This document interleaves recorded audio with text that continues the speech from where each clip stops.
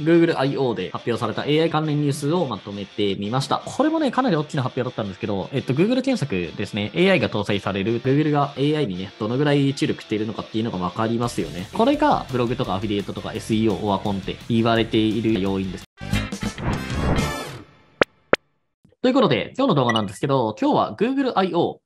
の AI 関連ニュースまとめというテーマで喋っていこうかなと思います。2023年5月10日に Google I.O. というまあ、イベントがありました。このイベント何かっていうと、毎年5月に開催される開発者向けのイベントですね。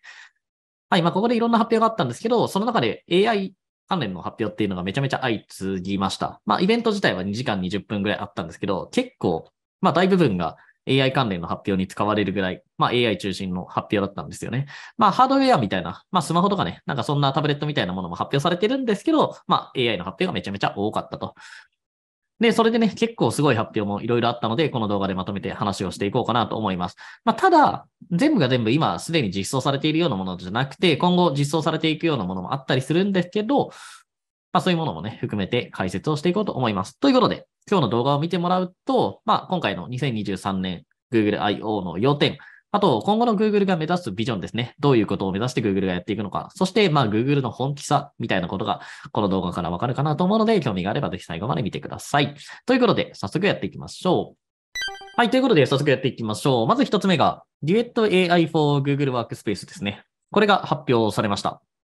で、これ何かっていうとですね、めちゃめちゃ単純に言うと、まあ、Google のスプレッドシートとか、あとスライドに AI が搭載されるというものですね。まあ、この話自体は前からあったんですけど、まあ、それが正式に発表されたという感じですね。まあ、マイクロソフトの方も、マイクロソフト365コーパイロットっていうものを発表していて、まあ、そのワードとかエクセルと、まあ、その AI を連携させてやるみたいなのを進めているんですが、まあ、それと同じようなものですね。はい。まあ、これ、あの、Google の方で公式に発表されているものになるんですけど、まあ、上からね、ちょっと気になるところだけ見ていきましょう。はい。まず外出先でも執筆をサポートということで、はい。まあ、Gmail とかね、Google ドキュメントの両方の作業の開始を手助けしていますと。なんで、スマホとかでもわずか数語のプロンプトで完全な返信を提案することができるとかですね。はい。なんで、例えば、遅刻、メール、返信みたいなプロンプト打つと、それで、まあ、メールのね、返信文を書いてくれるみたいな感じですね。はい。あとは、Google スライドの中でテキストからオリジナル画像を作成ということで、まあ、こんなこともできるようになりますと。まあ、これはね、動画があるんで、これがわかりやすいかなと思います。こんな感じで右側で、まあ、プロンプトですね。おなじみのプロンプトを打って、まあ、この下のところでスタイルみたいなのを選んで、画像を作成すると。まあ、20秒ぐらいかかるみたいですね。そうするとこんな感じで、まあ今ね、キリンの画像っていうのが出てきて、それをクリックするとスライドの中に入れられると。まあこれも便利ですよね。だからわざわざ、そのイメージ画像とか、そういうのを探してこなくても、スライドの中だけで、まあオリジナル画像っていうのを作ることができるっていう感じですね。はい。あとはスプレッドシートですね。スプレッドシートでアイデアをアクションにデータをインサイトに変えるということで。まあ、分析とかデータの整理とか、そういうものが AI によってできるっていう感じですね。まあ、それを Help Me Organize という機能らしいですね。はい。これもデモがあるので見てみましょう。はい。こんな感じで、右上の方に、まあ、プロンプトみたいなのを打つと、こんな感じで作ってくれるって感じですね。これすごいですよね。一発でこんなのができてますね。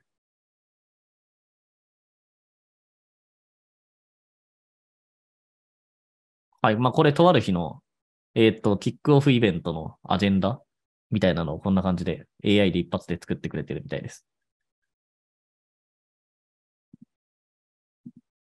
はい。まあ、これもね、めちゃめちゃ便利だと思いますね。あまあ、この辺ですね。この動画でやってるのは、年に一度の営業会議を計画するイベントチームも、オフサイトでチームをコーディネートするマネージャーも、デュエット AI 使えばすぐに整理された計画を作成できます。という感じですね。はい。あとは、この辺とかですかね。Google ドキュメントの AI ビルディングブロックを使い、プロジェクトを管理みたいな。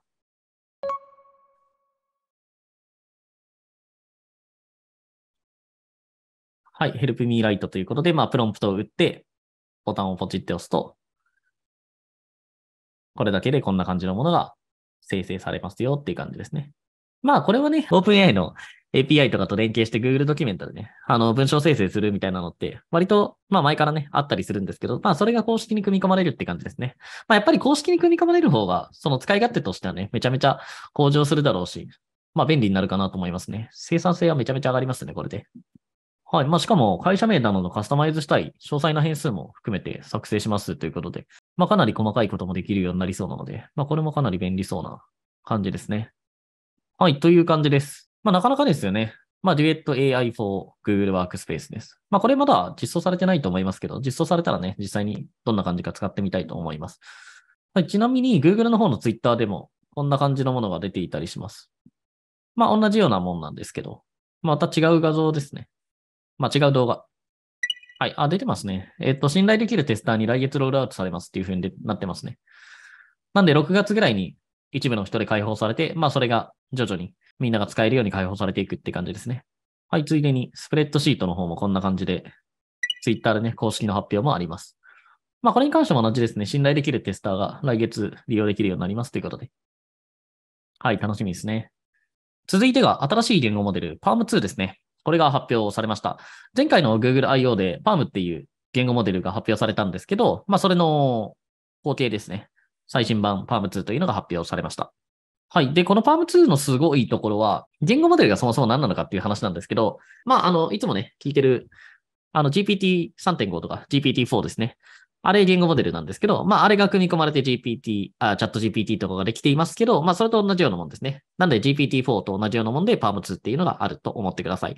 で、この PALM っていうのがそもそも、まあ、去年からあったんですけど、この PALM が、えっと、5400億パラメータのすごい言語モデルだったんです。参考までに言うと、GPT-3 っていうのが1750億個。で、えっと、現行の、G、チャット GPT で、えっと、使われているのが GPT3.5 なんですけど、これが3550億個と言われています。なんですけど、まあ、それよりも多いっていうことですね。えっと、パームっていうのが5400億パラメータ。で、パーム2と、えっと、GPT-4 に関しては、パラメータ数未公表なんで、これわかんないんですけど、まあ、要は、めちゃめちゃ多いってことですね。パラメータ数としては。はい。ちなみに、まあ、これもまた後で話をしますけど、えっと、バードに組み込まれている言語モデルも、この、今回のパーム2に変わったんですけど、その前ラムダっていう言語モデルだったんです。Google のバードね。チャット GPT みたいな AI チャットボットです。Google が作った。そのラムダに関してはパラメータ数1370億個でした。はい。まあ、で、このパラメータ数が変わると何が違うのっていう話なんですけど、まあ、基本的な考え方としては、パラメータ数が多くなると精度が高くなると思ってください。まあ、複雑なことをしようと思ったら、やっぱりパラメータ数がたくさんないと複雑なことができないから、まあ、パラメータ数がたくさんあると複雑なことがいろいろできるよねっていう話です。まあ、ただ言ってもですね、じゃあパラメータ数多くなればなるほど精度上がるのっていうと、そんなこともなくて、えっ、ー、と、必ずしもパラメータ数が多い方が精度が高いっていうわけではないので、まあそこは注意をしないといけないんですけど、まあややこしくなるんで、一応ね、パラメータ数が多いと、まあいろいろと精度高くなるし、複雑なことができるよみたいな 認識を持っておいてもらえたらとりあえず大丈夫かなと思います。なので、まあパームが5400億パラメータだったんで、まあその後継のパーム2っていうのは、まあさらにね、大きなパラメータ数になってるんじゃないかなと思います。なので、以前よりも精度の高い回答を期待できるということで。まああとパーム2の特徴としては、医療とかセキュリティ系のあの分野に強いっていうふうに言われていますね。あの、チャット GPT、まあ GPT3.5 とか4っていうのはもうそういう分野を絞ったものじゃなくて、とにかく幅広い分野で汎用的に使えるっていうのが特徴なんですけど、まあ PALM2 に関して、もちろんね、汎用的に使えるんですけど、まあ違いはっていうと、あの医療系とかセキュリティ系とか、まあその辺の専門分野に強いと。まあその辺のやりとりとかそういうのはかなりクオリティの高い回答ができるっていうことですね。はい、まあここでもね、まあ今ざっと話をしたんですけど、まあ、同じようなことが書かれてるんで、ちょっと拾っていきましょうか。はい。まあ、パーム2発表しましたっていうことで、まあ、多言語、推論及びコーディング機能が向上した最先端の言語モデルですっていうことですね。はい。プログラミングがね、できるようになっています。まあ、もともと、えっと、ラムダっていうのが、バードでも使われていたんですけど、ラムダに関しては対話っていうのをすごい重視して作られたやつだったんで、なんで、もともとは、えっと、バードもプログラミングとかできなかったんですけど、今のバードはプログラミングとかできるようになってますね。まあ、それはおそらく言語モデルが PALM2 に変わってるからだと思います。はい。で、大きな特徴として、PALM2 だと、えっと、4つのサイズがあります。まあ、結構、オット、バイソン、ユニコーンですね。はい。まあ、一番ちっちゃいのがね、あの、ヤモリなんですけど、このヤモリ、まあ、ここでもね、書いてますけど、まあ、非常に軽量なため、モバイル端末で動作し、オフラインの状態でもデバイス上の優れたインタラクティブアプリケーションを実現するのに十分な速さということで。なんで、まあ一番ちっちゃいのがこのヤモリっていうね、月光なんですけど、これだとあのオフラインのモバイルでも使えるような言語モデルになっているらしいです。まあ基本的に言語モデルね、さっきも言ったんですけど、パラメータ数が今めちゃめちゃ多いんです。あの、何千億とか、まあ1兆超えるような言語モデルもあったりするんですけど、パラメータ数が。パラメータ数多くなると、まあ精度が高くなるって言ったんですけど、まあいいことばっかりじゃないんです。これ何かっていうと、パラメータ数増えれば増えるほど計算量がめちゃめちゃ増えて、まあ大変になるんですよ。コストかかるとかね。あの時間かかるとかいろいろ大変になるので。まあなんで、オフラインでモバイルで動かそうと思ったら、そんな大きなパラメーターのものを動かせないので、まあその辺を軽量化してね、動かせるようにしたものとかがあるみたいです。はい、まあこの辺ね、あのサイズをいくつか分けて用意してますということですね。はい、あと、まあこの辺もね、さっき触れましたけど、えっ、ー、と、バードでも搭載されてると。で、これも、まあ、後でね、また言いますけど、パーム2が多言語機能が向上しているので、あの、バードがね、日本語対応されました。まあ、これも、あの、また別で動画を詳しくは出しているんですけど、はい。あとそうですね。あの、コーディングアップデートっていう、まあ今までプログラミングとかバードは対応してなかったんですけど、それが対応されたのもやっぱりパーム2に変更されたことですね。他にも、えっと、さっき言った Gmail とか Google ドキュメントの下書きとかスプレッドシートの整理をサポートする、まあ Google ワークスペースの機能ね。えっと、パーム2の機能を活用することで、ユーザーがより良い仕事を早く行えるように支援しますということで。まあ、やっぱりベースになってるのがパーム2ということですね。はい、これさっき言ったやつですね。はい、他にも、えっと、さっきね、その特徴的だって言った、まあ、医療系の専門分野に強いよみたいな話は、この辺ですね。当社の医療研究チームが医療情報のデータを使って学習したメドパーム2ですかね。まあ、理解するのが容易ではない医学文書の内容を用いて質問に答えたり、洞察をまとめたりすると。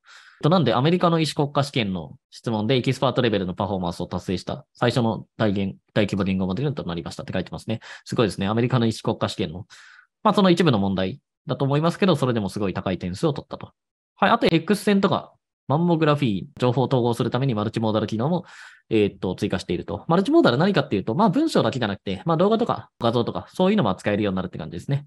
ちなみに、チャット GPT の、あの、GPT-4 でも、今マルチモーダルに、まあ対応していると言われてて、まあ実際にはね、まだチャット GPT ではできないんですけど、なので、えっと、今後は、チャット GPT に、えっと、画像を入れて、この画像が何かわかるっていうふうに聞くと、ちゃんとその画像を認識して返してくれるとか、そういうのができるようになります。まあ、それがマルチモーダルですね。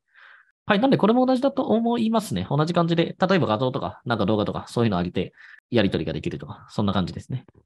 はい。セキュリティ系のことはここですかね。まあ、セックパームということで、まあ、セキュリティユース向けにトレーニングされたパーム2の特集バージョンと。はい。まあ、専用にね、トレーニングされたものもあるよっていうことですね。あと、まあこれも話題になってましたね、前に。まあこれは今回の Google I.O. の話とはちょっとずれますけど、あの、PARM ってね、さっきから言ってる言語モデルの、あの、API っていうのが開放されましたっていうことで。まあ完全に多分開放されているようなものじゃないのかな。はい、まあでもね、その API みたいなのも使えるようになったと。まあだからいろんなね、サービスに組み込んだりとか、そういうのができるようになるっていう感じですね。はい。で、えっと、まあその Google I.O. 5月10日に開設されたイベントですけど、まあそこの時点から、あの、PARM2 モデルへの登録も、はい、可能になっているって感じですね。はい。まあ、あとは SGE みたいな話があるんですけど、まあ、この辺は、あの、またね、改めて、後で話をしようかなと思います。はい。ということで、えっ、と、続いての発表が、マルチモーダルなジェミニですね。まあ、ここの、えっ、と、パーム2の後ろの方でも書かれているんですけど、まあ、ジェミニの開発に取り組んでいますっていうふうに書かれています。で、これ何かっていうと、そのマルチモーダルですね、さっき言った、まあ、テキスト以外の動画とか画像とかね、そんなのも使えるようになるっていうものの、まあ、次世代の言語モデルですね。なんで今、えっと、PARM2 っていうのが今回発表されたんですけど、その次の言語モデルだと言われています。まあ、ちょっとね、この辺に関してはまだ、えっと、わからなくて、まあ、ジェミニまだ学習中ですがって書かれている通り、まだね、詳細みたいなのが全然出てきてないんですけど、まあでも以前のモデルでは見られなかったレベルでのマルチモーダル能力をすでに示していますということで、まあマルチモーダルというところではかなりいい感じになっているということですね。はい。なので、今後ね、まあ次の Google I.O. なのか、それまでに出てくるのかわからないですけど、まあこの Gemini っていうものも出てくるんじゃないかっていう感じですね。はい。そして続いてが、Google Bard が日本語を配用したという発表ですね。まあこれね、さっきからちょいちょい触れているんですけど、まあ Bard、えっ、ー、と、チャット GPT と同じような AI チャットボットですけど、まあそれが日本語に対応しました。今まではね、あの、Bard、日本語を使えなくて英語でしか使えなかったので、めちゃめちゃ不便だったんですけど、それがちゃんと日本語で使えるようになりました。はい。まあ、これはね、あの、僕ら日本人からするとめちゃめちゃ嬉しいですよね。はい。まあ、ここにもね、動画があります。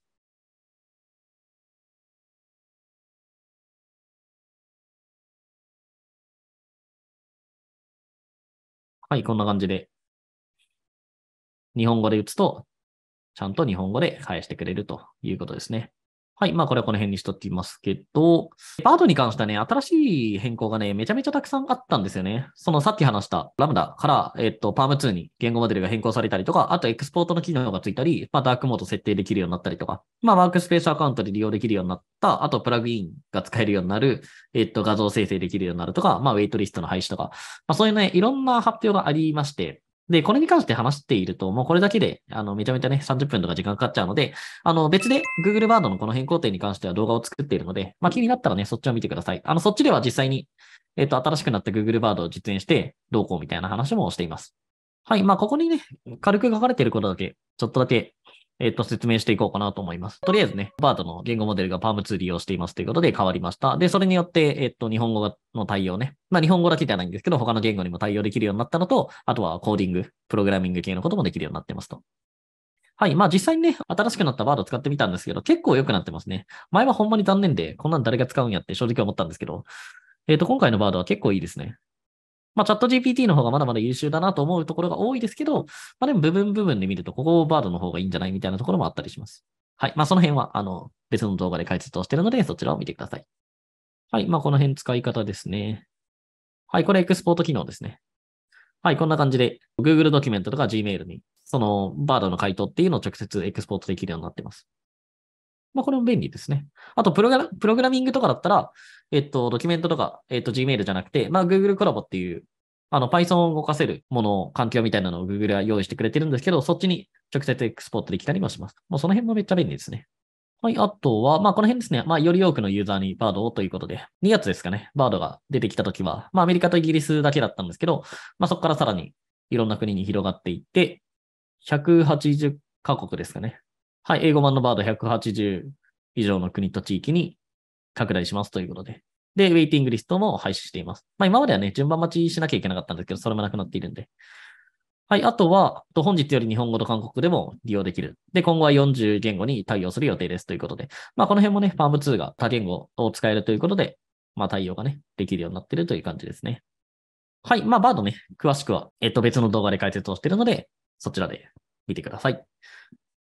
はい。そして続いての発表なんですけど、これもね、かなり大きな発表だったんですけど、えっと、Google 検索ですね、AI が搭載されるということで、Bing に似ていますね。Bing も、あの、AI がね、もうすでに搭載されていて、まあ、チャット GPT と同じようなことができるようになっているんですけど、まあ、検索結果よりも上に、あの、AI の回答が並ぶっていう感じですね。まあ、これ見てもらうとわかるんですけど、まあ、一番上のボックスのところに、まあ自分が聞きたいこととか知りたいことを入れると、その下に、まあ AI からの回答が並ぶと。まあこの画像であれば、薄緑色になっているところが AI からの回答ですね。まあ普通だったら、今までだったらここには広告が並んでいたりとか、まあ検索結果が並んでいたんですけど、そうじゃなくなっているという感じです。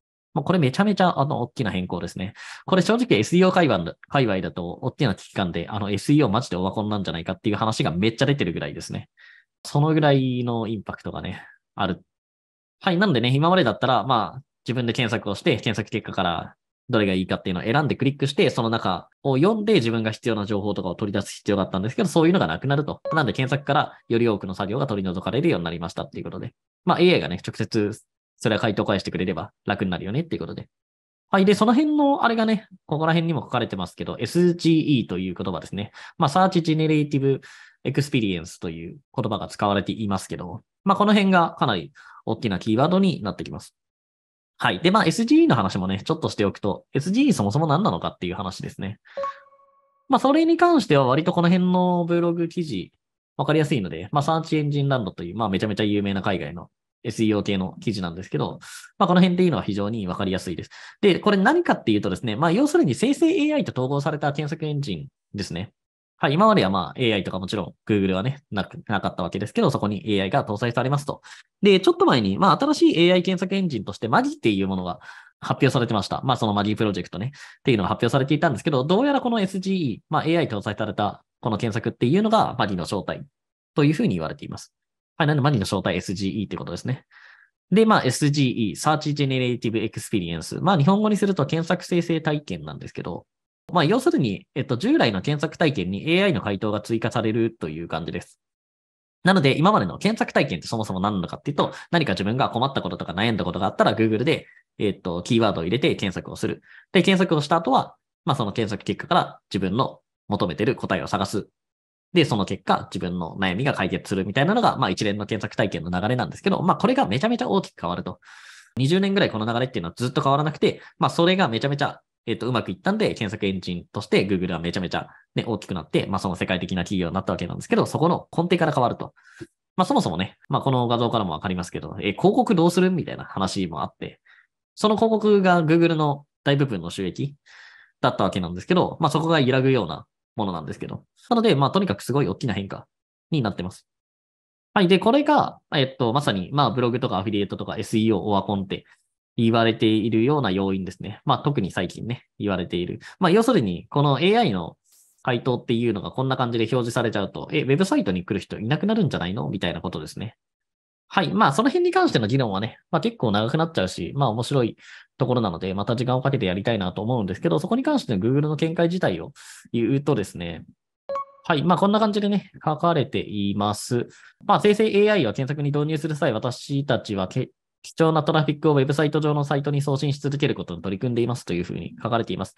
なので、あの、ウェブサイトへのトラフィックを削って自分たちのところでどうこうっていうのを考えてるわけじゃなくて、まあもちろんそういうこともあるかもしれないけど、ウェブサイトへのね、トラフィックっていうのは引き続き流せるような仕組みを考えていますっていうふうに書かれています。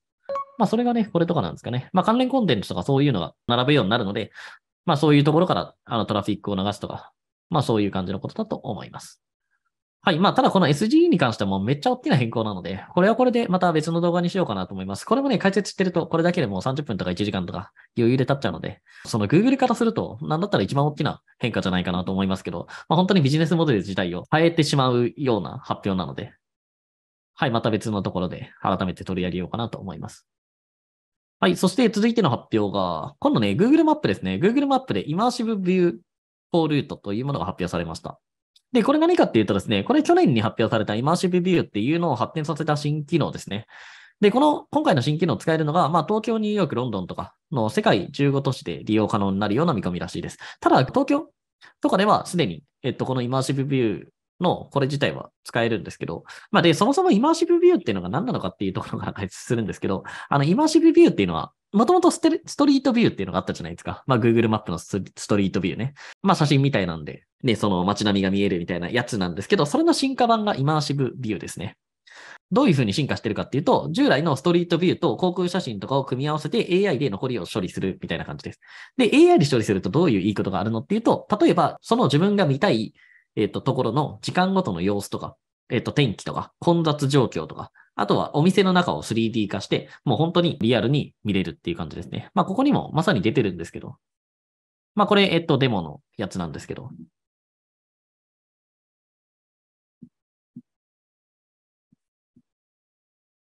はい、こんな感じで。まあ、これ自体はね、あの、ストリートビュールも同じようなこと言ってきましたけど、まあ、こんな感じで鳥が飛んでたりとか、あの、車が走っていたりとか、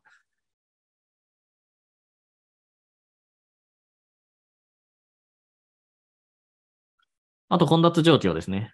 えっと、時間が違えば当然混雑状況も違うし、こんな感じで雨が降ってるとか、そういうことも今回の Immersive View for Route ではできると。はい。まあ、このなんか没入感のある感じは、えっと、これ Immersive View ですね。もともとの。はい。ちなみに参考程度に。えっと、もともとの Immersive View をこれですね。えっと、これはもうすでに使えます。はい。こんな感じで Google マップでね、調べて、こんな感じで、まあ、雨が降っていたりとか、そういうのがこういう感じで 3D で見れると。はい。で、こんな感じでぐりぐり動かせます。なんで今までのストリートビューでも同じようなことができたんですけど、まさにそれが発展したようなものですね。それが進化したような感じです。すごいですよね。これも半端ないですよね。はい。まあ、ただこれに関してね、あの、イマーシブビューは、えっと、スマホだけの対応かなと思うので、まあ、やるときはね、ぜひスマホで見てみてください。ただできるのは、えっ、ー、と、東京ぐらいですかね。他のところでは多分でき、まだできないんじゃないかなと思います。はい。で、今日最後の内容なんですけど、Google フォトですね。マジックエディターというものが発表されました。で、これ何かっていうとですね、まあ、要するに被写体の位置を後から移動できるっていう機能ですね。まあ、ここに、えっと、写真が載っていますけど、はい、こんな感じです。はい、もともと子供が、えっと、左寄りにいたんですけど、その子供が、えっ、ー、と、このマジックエディターっていうのを使うと、えっ、ー、と、こんな感じで後で移動させることができる。まあ画面、画像の編集がね、こんな感じで簡単できるっていうものですね。はい。なんで被写体の位置を後から移動できるっていうものですね。まあ、これとかもわかりやすいと思います。はい、位置をこんな感じで移動させて編集ができるという機能ですね。はい、まあ Google フォトにね、あの、いろんな AI 載ってるんですけど、その中に、あの、このマジックエディターっていうのも追加されるっていうことらしいですね。はい。まあ、これはこれでね、あの、需要あると思うので、興味があったらぜひ使ってみてください。ただ、えっと、まだこれ自体は、えっと、実装されていなくて、今年中に実装される予定らしいので、はい。えっと、ここにも書かれてますね。今年後半には一部の Pixel スマートフォンにマジックエディターの早期アクセスを提供する予定ですということなんで、えっと、まだ使えるわけじゃないんですよね。はい。ということで、今日は Google I.O. で発表された AI 関連ニュースをまとめてみました。まあ、他にもね、あの、たくさん発表されていること自体はあるんですけど、まあ、Android がどうとか、まあ、ピクセルがどうみたいな話があったりするんですけど、まあ、そういうのは触れませんでした。その、それ触れ出すとね、長くなってしまうので、はい、今日はね、AI 関連のニュースを取り出してみました。まあ、これね、あの、今回の発表からもわかる通り、まあ、本当に、まあ、Google が、まあ、AI にね、どのぐらい注力しているのかっていうのがわかりますよね。まあ、とにかく新しい言語モデルを作って、まあ、今までの Google のサービス、まあ、Gmail とかスプレッドシートとか、ドキュメントとか、まあ、そういうところにガンガン AI とかを入れていって、まあ若干ね、こうチャット GPT とかが出てきてから、まあいろいろと押されがちだったんですけど、まあその辺もね、なんとかこう、覆そうと頑張っているような感じが見えますね。まあただ言っても、まだまだこの SG とかに関しても、今後ね、どうなるかっていうのがまだわからないところなので、まあ実際にはね、変わっていく可能性はあるのかなと思いますけど、まあでも便利になるのはね、非常にいいことだと思いますし、まあ今後のね、発展に期待したいなという感じです。はい、ということで、じゃあ今日の動画はこれで終わりにしようと思います。今後もこんな感じで最新 AI についてどんどん解説をしていこうと思うので、よかったらチャンネル登録してください。あと、無料で参加できる AI の最新情報を学べるコミュニティもやっています。メンバー同士で AI の最新情報を共有したりとか、質問相談ができたり、交流できたりがするコミュニティですね。 Slack でやってて誰でも参加できるので、興味があったら概要欄のリンクから参加してください。はい。ということで、今日の動画はこれで終わりにしたいと思います。では、ありがとうございました。ブログノウハウをもっと勉強したい人のために無料メール講座もやっています。ブログ収益化まで体系的に教えているから、ブログを本気で頑張りたい人にはおすすめの講座になっています。文章力を鍛えたい人のために文章の書き方を直接指導する SEO ライティング実践講座もやっています。ブログで稼ぐには文章力が必須なので、ブログ初心者から中級者にはおすすめの講座になっています。どちらも興味があれば概要欄からぜひチェックをしてみてください。えっ、ー、と、中地さんにとって下手な文章とはどんな文章ですか？まあ、なんだろうな。下手な文章、こういう文章は下手だなっていう特徴はね、いろいろあるんですけど、強いてあげるなら、回りくどいかな。回りくどい。本来、書かなきゃいけないことがそんなに書いてないくて、書かなくていいようなことがめっちゃ書いてある。文章は、やっぱ下手な文章だと思いますね。なんだろうね。癖のない文章を書いてくれるのが一番僕はありがたいですけどね。ライターさんとかだったら。癖のある文章を書く人って結構いるんで。な、その書き方なんなんみたいな。ライターあるあるなんですけど、なんとかなのです、なのです、なのです、みたいなのをめっちゃ繰り返すとか。いや、なんとかなのですって言うほどのことじゃなくない？みたいな、この話。でもなんとかなのですってめっちゃ言っちゃう人いるんですよね。ああいうのやめた方がいい。なんとかですでいいんですよね、それも。それも僕の中では無駄な文章。なのっていらないよね、みたいな。そういう感じ。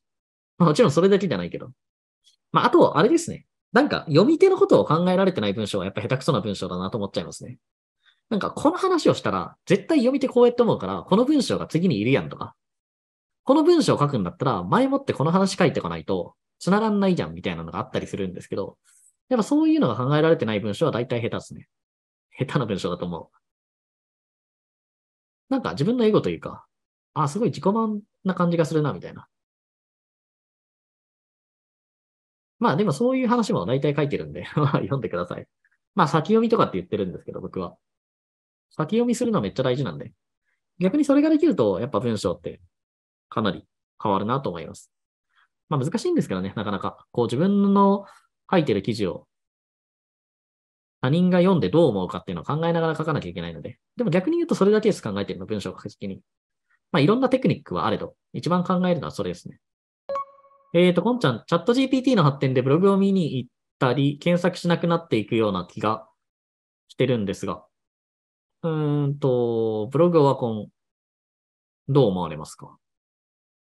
まあ結論はそんなことはないと思ってます。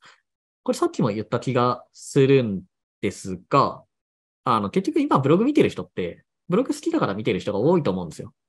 チャット GPT で検索したら、それで終わりだから別にブログ見に行かないって、もちろんそういう人もいると思うんで、減るとは思いますけど、増えることはない、減るとは思うけど、でもそれでブログが全く見られないっていうことはない。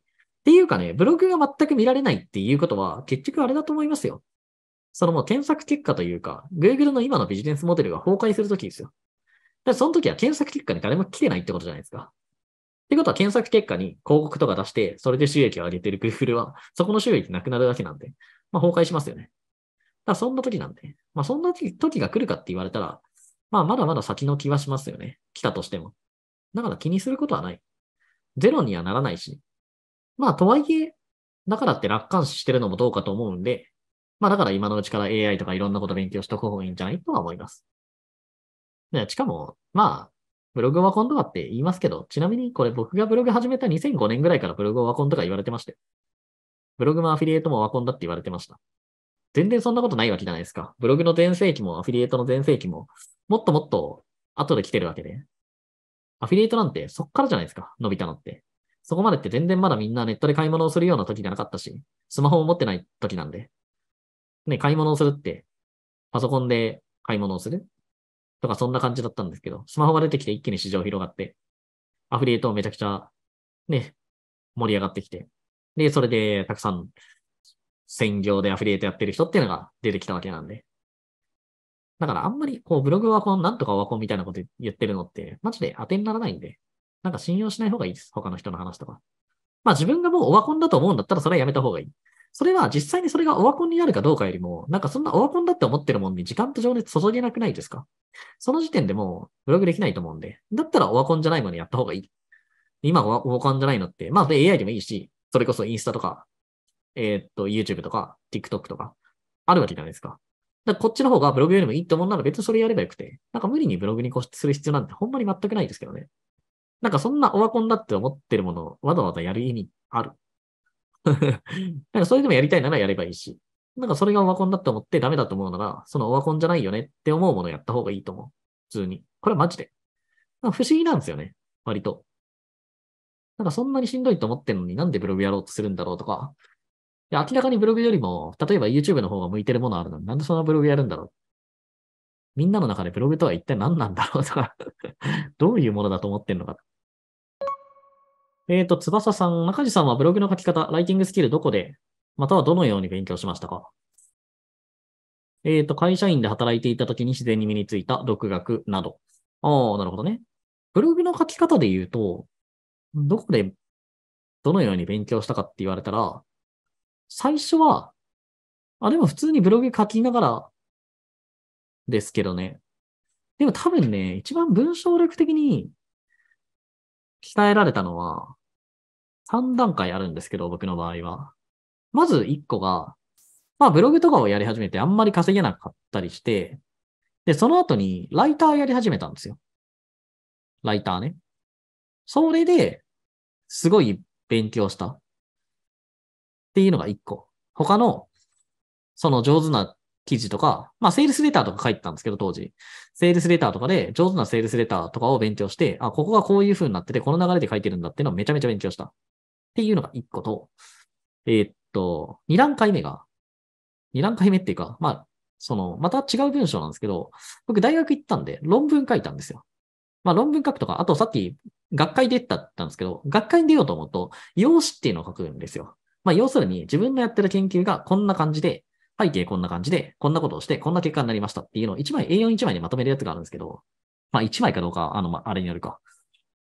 で、それで用紙とかを書いたりするんですけど、それで鍛えられた。要するにめちゃくちゃ直されるんです、それを。その大学の教授とかに。研究室の先生に、えっと、めっちゃ直されて。で、それで鍛えられた。あと論文もそうですね。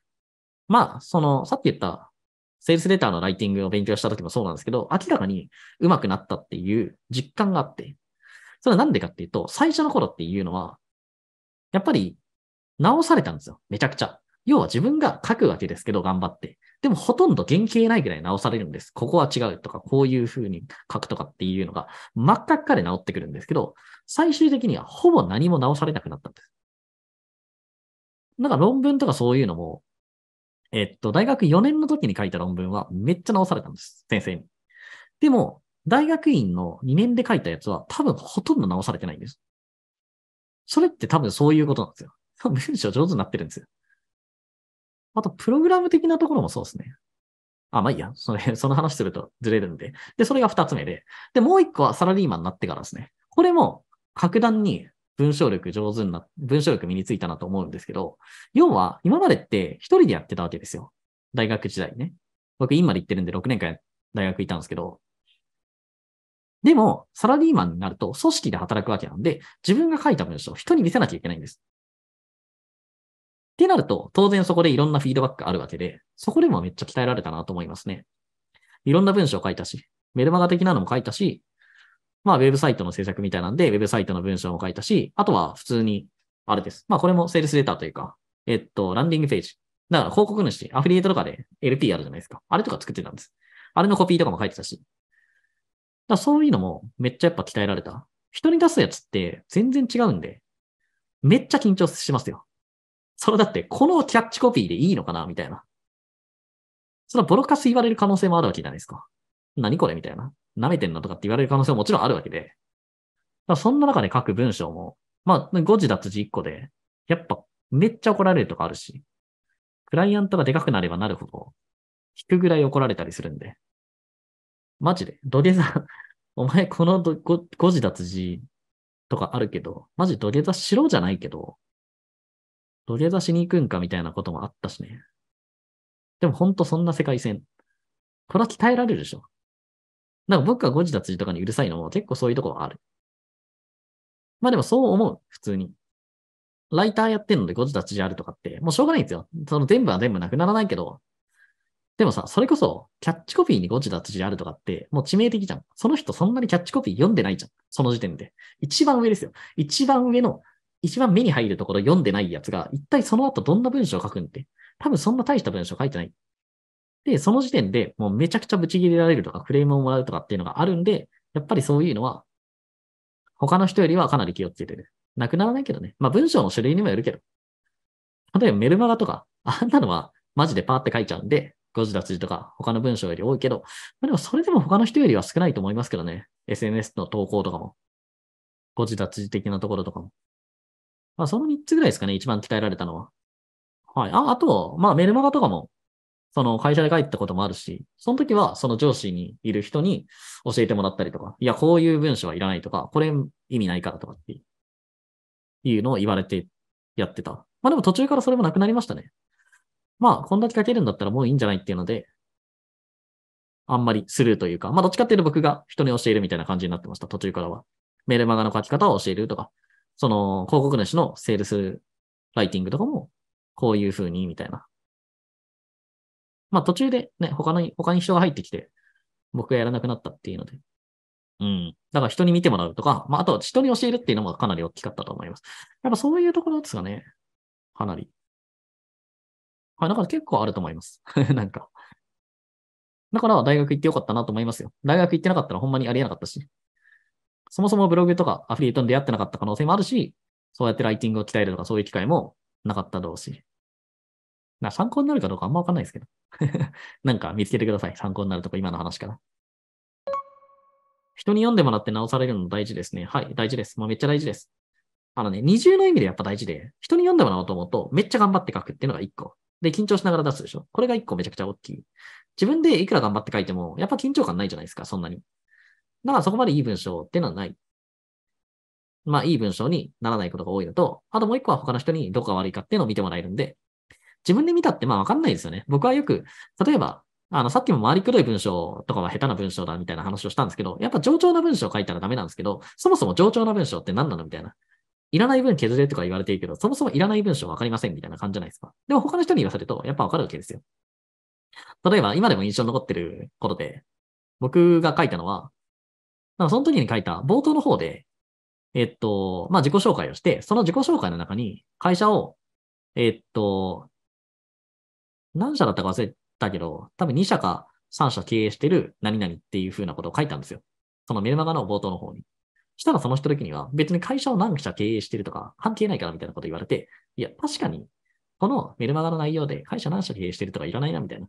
なんか僕はそれを書いた方が、なんかすごい人感が出るんでいいのかなと思ったんですけど、まあ確かになくていいなっていうふうに思って、まあそういうふうな直しをしてもらえるっていうのは結構、てかかなりでかい。Google ドキュメント使うと誤字脱字してしてくれたりしますよねということで。はい、そうですね。今はね、そういういろんなものがあるんで、便利ですよね。だから、まあ、それで全部なくなるわけじゃないけど、とりあえずそれ通しといた方がいいですよね。それは全ライターさんに言いたい。いや、出す前に一回 Google ドキュメント通せって。Google ドキュメントじゃなくても何でもいいんですけど、それだけでも見つかる修正って絶対にあるんで。まあ、ゼロにはならないかもしれないけど、ボンミスとかそれでなくなるんだったら、しかも手間なんてほぼないじゃないですか。だからそういうの言えるのは結構大事ですね。えー、っと、非公開にしていた記事を削除してから PV 数が減った気がするんですが、関係ってありますか？ありません。全く関係ないです。もう絶対100%関係ないって言っておきます。あの、そんなの、わかんないんで、外から見て。もともと非公開だったら、公開されていた記事を減って、公開されていた記事を消したんだったら、まあ可能性は全然あるんですけど、非公開の時点でもう消えてんのと同じなんで、非公開と削除は同じです。外から見たときに。何もわからないです。えっ、ー、と、チャット GPT も完全には信用できないので、確認のためにブログ見たり検索したりします。ああ、そうですね。そうですね。まあ、ブログがそもそも信用できるのか問題もあるけど、まあ AI がね、そんなに絶対にちゃんとしたものを返してるかっていうとわかんないんで、確かにそういうエビデンスとかそういう意味でね、いろんなものを見たりをしますよね。えっ、ー、と、昔ガラケー駆使してクルーズブログでアフィリエイトやってました。はいはい、クルーズブログね。最近なくなったんですよね、クルーズブログって。割と最近ですよね。あ、そうですよね。2022年の5月末。クルーズブログありましたね。僕は代理店の時もありましたね、クルーズブログって。確かに。ガラケーね。僕、ガラケーのアフィリエイトあんまやなかったんだよな。当時はね、今はもうそんな分け方ないですけど、当時は PC アフィリエイトとガラケーのモバイルアフィリエイト分かれてましたからね。A8 とかも分かれてたんですよ。知ってますか？ああ、A8 モバイルのアフィリエイト使ってましたね。そう、あったんですよね。まあ僕は代理店で使ってたけど、やっぱ全然でしたね、正直。申し訳ないけど。まあもうサービス終わってるんでいいいいと思いますけど。モバ8なんて、あの、あっても全然、何、獲得できなかったんで。だから広告主って割といろんな ASP 登録しがちなんですよ。要はただなんで、基本的に登録するのって。まあお金かかるところもありますけど、だから A8 とかはお金かかるんですよ。